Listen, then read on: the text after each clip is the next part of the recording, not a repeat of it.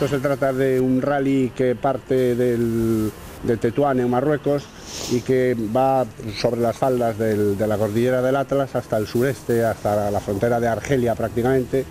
Es un rally un poco más duro que los de regularidad que hacemos normalmente aquí en Portugal y en Galicia, sobre todo en Galicia. Y bueno, es una aventura importante porque son siete días, siete etapas, es duro, el desierto no tiene señales para saber si hay que ir a la derecha o a la izquierda, y mucha navegación, mucha brújula y mucha intuición.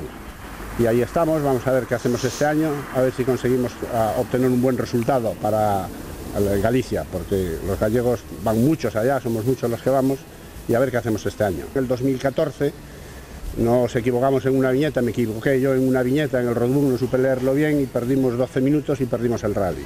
Así que en venganza decidimos ir al año siguiente, preparar bien el coche y en el 2015 ganamos el rally.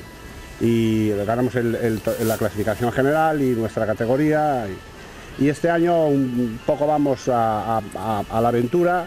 Si ganamos, que esa es nuestra intención, nuestro objetivo final es ganar, pero si no ganamos tampoco pasa nada. Los rallies cuando ya lo ganaste una vez, luego para mí personalmente ya pierden un poco de interés el siguiente. Pero bueno, vamos con, todas con toda la motivación que tenemos a ver qué pasa. De Vigo van otros dos eh, vehículos más, otros dos todoterrenos. De Orense van tres más. Entonces vamos un poco en grupo. Pero una vez que estás en el desierto, estás tú solo.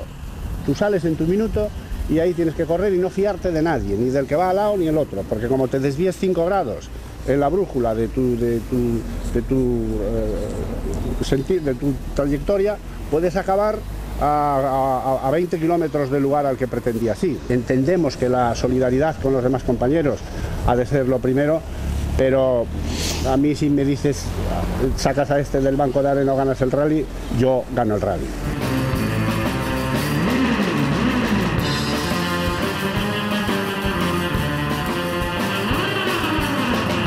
Principio vamos a turnarnos a, la hora de conducir y copilotar y a ver qué, qué sale de ahí. A ver si no nos peleamos por el camino. El coche es un Audi Coupé, un 2.8, es un V6, tracción total. Eh, preparamos un poco el tema de suspensión y el- cubrimos los bajos del coche para protegerlos contra las piedras y tal. Unas ruedas de tierra y poco más.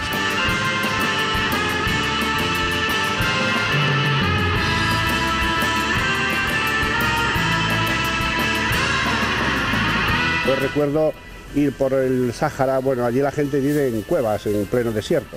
Eh, ves unos agujeros y tú crees que eso pues es una fuerza de la naturaleza. No, no, vive gente allí.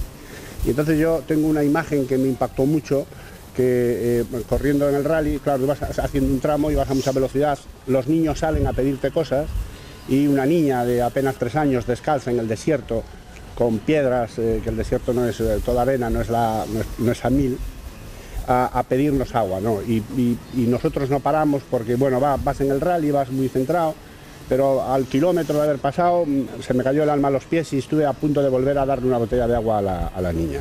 Mucha, mucha miseria, los niños andan descalzos, entonces nosotros llevamos pues, eh, zapatos, eh, eh, jerseys, alguna ropa, material escolar, que hay que entregarle a los niños y en los pueblos realmente deprimidos.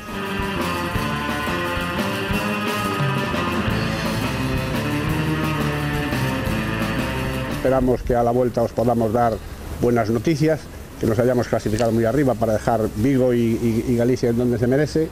Y ya os contaremos cuando volvamos a ver qué tal nos fue por esas tierras, esas arenas del desierto del Sáhara.